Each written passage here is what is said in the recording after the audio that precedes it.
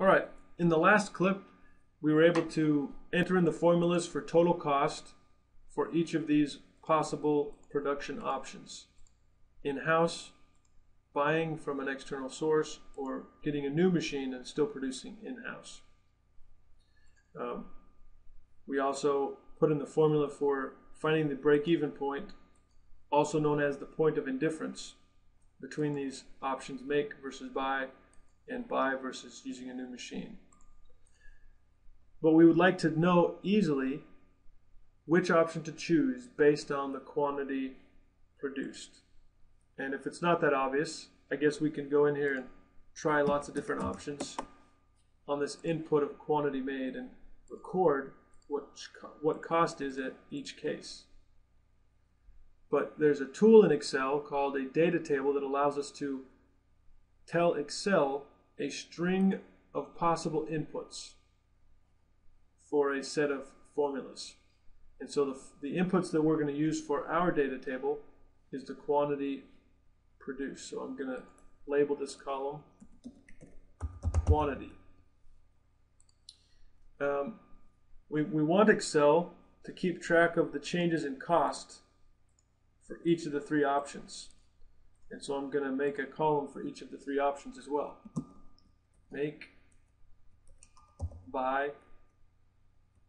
new M, new machine. All right, so first we just need to make a list of uh, possible input quantities.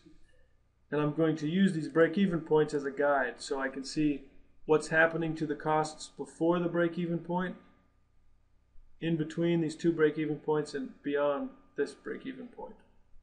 And so I'm going to choose a first quantity of zero, then I'm going to jump up to a little bit before 10,000, say uh, 7,500. And I'm going to increase in quantities of 500 until I get to 10,000. I'm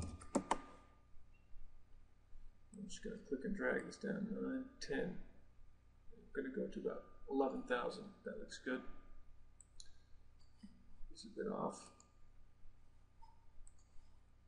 All right, and now um, I'm going to choose some values around the 24,000 as well. So I'm going to maybe start at 22,000.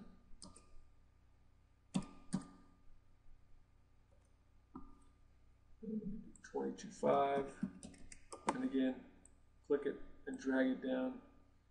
You can see in the bottom right hand corner of the cursor that I've already reached the last break-even point, when I'm going to go couple of thousand beyond that. And now I've got a string of inputs that I want Excel to use when computing total cost for each option. Um, in the data table area, you can kind of see that we've started making it here. I do skip this cell, but in this cell, the make cell, I'm going to reference the equation for total cost. I'm not going to type in a new equation. I'm just going to reference this equation. So I just type equals and I reference the cost equation that I want Excel to use. So when I make the data table, each of these input quantities, it's going to, in the background, plug these values into this equation. And for each input, it's going to record what that equation is. Right? Um, I'm going to do the same for the buy column reference the total cost location of the equation. And similar with the option 2 machine I'm going to choose total cost. So for each of these inputs Excel is going to record what the total cost is in each case All right? So now I've got the Excel is ready to create a data table now. Scroll down here. Um, data table is found on the data tab. And before I can choose a data table, I'm going to need to select from this empty cell to the edge of new machine total cost and all the way down to the bottom of the inputs. So I've got an empty cell, I've got the equations referenced and inputs. And now on my screen, the what if analysis is in a really small button, but in your screen, depending how wide it is, you may have a larger button. So I'm going to click this, and I'm going to choose Data Table. It's going to bring up a dialog box. And it asks about the input cell. If you remember, um, our input cell is quantity produced. That's what the inputs are going to be. And when it asks what the row input cell or the column input cell is, it's asking where the original input is. And it's here. But the question is, do we put it as a row input cell or a column input cell? The easy way to remember is, are the inputs in the data table, are they in a column or are they in a row? In this case, the inputs are in a column.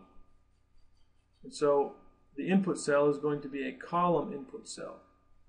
And there's the input cell right here. I choose the original input that these equations use.